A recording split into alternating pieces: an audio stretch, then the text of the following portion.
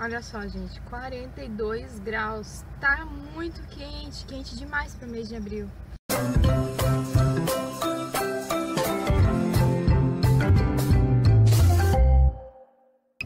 Oi, pessoal. Tudo bem? Acabamos de sair de uma reunião. Na verdade, faz tempinho que a gente saiu. A gente teve uma reunião lá na imobiliária sobre a casa que a gente está comprando e eu tenho alguma novidade pra, algumas novidades para contar para vocês, mas eu vou esperar ficar mais calmo porque agora eu tô dirigindo, né? E eu vou lá buscar as crianças que elas ficaram na casa da minha sogra, os bebês, e a Rafaela os meus pais buscaram na escola. Então eu tenho que fazer essa correria. Pegar a criança de um lado, criança do outro. Pronto, já peguei as crianças na casa da minha sogra, agora estou indo na casa da minha mãe pegar a Rafaela. Numa dessas a gente toma um banho de piscina hoje à tarde. Mas eu não sei porque eu não tô querendo passar a tarde, a tarde inteira. Deixa eu diminuir aqui. Eu não sei porque eu não tô querendo passar a tarde inteira lá na casa da minha mãe. Eu tô querendo ir pra casa porque eu tenho bastante coisa pra fazer em casa. Então vamos ver. Mas nesse calorão que dá vontade de tomar um banho de piscina dá, né? A notícia ruim que eu tenho pra contar lá da casa é que vai levar mais uns seis meses para ficar pronta, por problema na documentação. A gente ficou assim bem chateado, mas a gente está tranquilo porque é, o nosso aluguel está sendo pago pela construtora, né? É, é direito nosso, é por lei, já que a casa era para ter ficado pronta em maio do ano passado e desde maio do ano passado, então não era mais pra gente estar tá pagando aluguel, era pra gente estar tá pagando as prestações da nossa casa, né? Mas por culpa deles, a gente não está, isso não está acontecendo. Então a gente também não tem que ficar pagando aluguel. O que acontece é o seguinte, é que o cara, o dono da, da, da construtora, o dono do imóvel, tá começando a ficar meio, né, chateado de ter que ficar pagando aluguel e outra coisa, é o valor da casa no contrato, né, o valor da casa que a gente é, acertou no contrato o ano passado, hoje já não seria mais o mesmo, né? Já valorizou, no caso, né, valorizou bastante. Então, se ele cancelar o contrato, ele vai poder reajustar esse valor e vender para outro mais caro e não vai precisar pagar o nosso aluguel. Então, pro construtor seria vantagem ele desfazer, né? Desfazer o contrato. Mas a gente bateu o pé, a gente quer continuar com esse contrato, a gente quer comprar aquela Que aquela casa pelo valor que foi acordado ano passado, que é o correto, e a gente vai ficar esperando até a casa ficar pronta e eles vão pagar o nosso aluguel. É isso que a gente quer. É, a gente tem todo o direito. Tivemos muito prejuízo nesse tempo, não só emocional por conta da espera, mas também a Rafaela está estudando longe pra caramba. A gente mora num bairro, a, Rafaela, a gente matriculou ela lá perto da casa onde a gente vai morar e é 15 quilômetros de distância, é muito longe. Então tivemos muito prejuízo por conta dessa demora.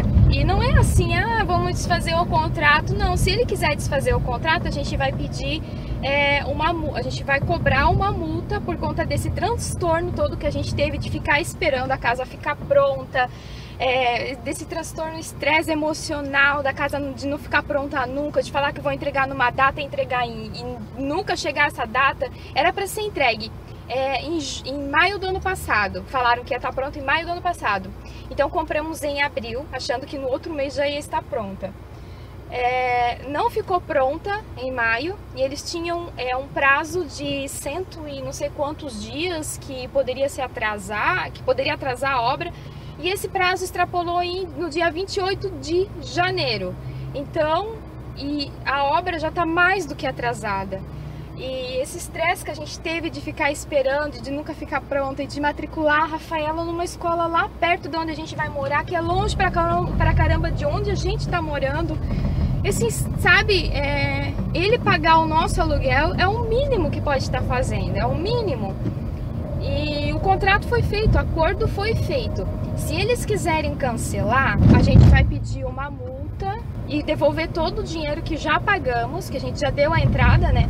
Devolver todo o dinheiro que pagamos com juros, né? Esse seria o correto. Aí tudo bem, aí a gente vai atrás de outro, de outro imóvel, né? De outra casa.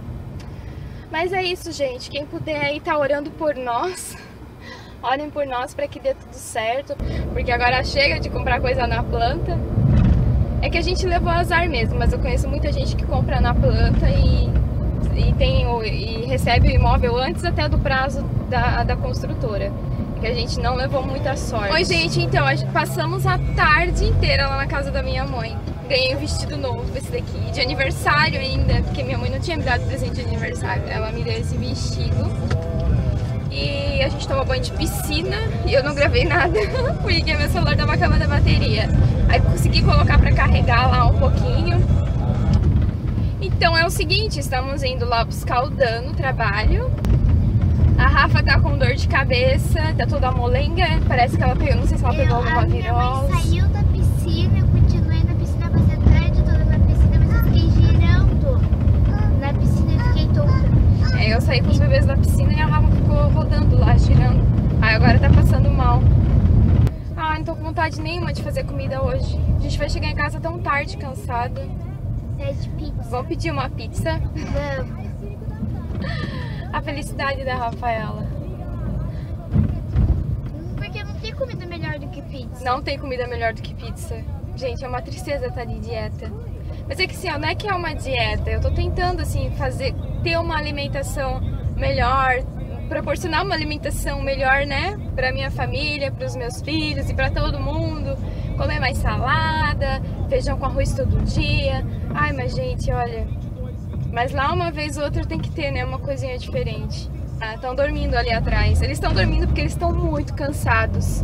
Muito cansados, gente. Eles quase não dormiram à tarde. Ainda passaram a tarde, quase a tarde toda na piscina e só brincando. Eles devem estar tá, tá super cansados.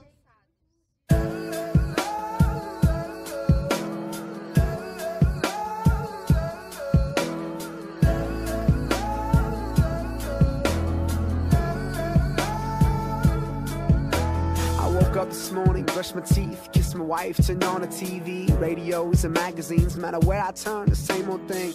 Earthquakes and war zones, broken hearts, broken homes, gang wars, catastrophes, starving kids and slavery.